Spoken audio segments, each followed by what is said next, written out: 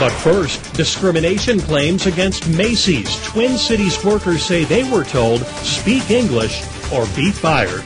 Tonight, we've learned Macy's is launching a full investigation. Hello, everyone. Thanks for joining us. I'm John Mason. And I'm Jessica Miles. The employees say the threat was clear and they are worried for their jobs. Mark Albert is live outside Macy's at Southdale Mall where the Somali employees work. Mark? And Jessica, Macy's is adamant that it does not have and will not tolerate an English only policy.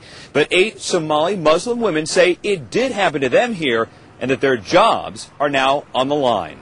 It is offensive. It is offensive. This Muslim woman says she may not shop at Macy's anymore if allegations against the retailing giant turn out to be true. I do think it's un-American. It's absolutely un-American. They felt that their culture was being taken away from them. The Council on American Islamic Relations, or CAIR, is now representing the eight Somali Muslim employees. They work in the merchandise packaging department in the basement of the Southdale Macy's and have no contact with customers. On August 11th, they say their supervisor told them they could no longer speak any language at work except English, and that if they did, they would be fired. They don't feel that they have a voice and that they're respected and that they do feel discriminated against. A Macy's spokeswoman pledges a full internal investigation.